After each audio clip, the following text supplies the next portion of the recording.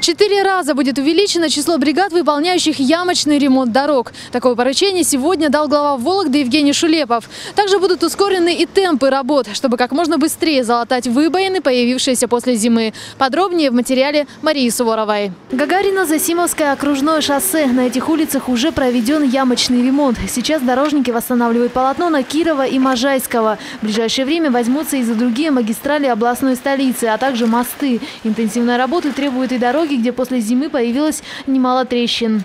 Ям, конечно, много. Видел, что работы ведутся. Кое-что заделано брусчаткой. Хорошо, что что-то делается.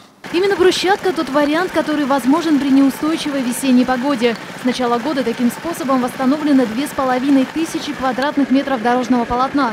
В первую очередь заплаты накладывают там, где разрушение асфальта наиболее сильное и мешает движению. Под особым контролем магистральные улицы, где идет большой поток транспорта. Работы идут ежедневно под пристальным контролем городских властей и лично главы Вологды Евгения Шулепова. Причем сейчас они будут ускорены.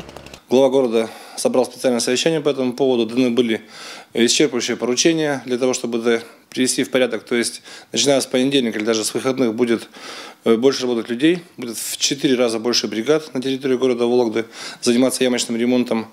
Будет выполняться не менее 300 метров квадратных в сутки по данной задаче. Всего в течение сезона предстоит отремонтировать 57 тысяч квадратных метров дорог. На это из городского бюджета выделено 60 миллионов рублей. Как только позволит погода, дорожное покрытие начнут восстанавливать асфальтом. Согласно нормативной документации, укладка асфальтобетонного покрытия в весенний период э, разрешается при температуре от плюс 10 градусов на высушенное, подготовленное и пролито битумом покрытие. Такие температуры возможны в конце марта, поэтому асфальтовые заводы начнут работу уже на следующей неделе. Об этом с предприятиями договорились городские власти. Напомним, обычно это происходит не раньше начала мая, но в этом году весна внесла свои коррективы. Кроме того, параллельно с ямочным ремонтом коммунальщики занимаются и очисткой дорог, в частности ливневых канализаций. Там, где засоры не устранены, образуется подтопление, бригады готовы выехать и оперативно все исправить.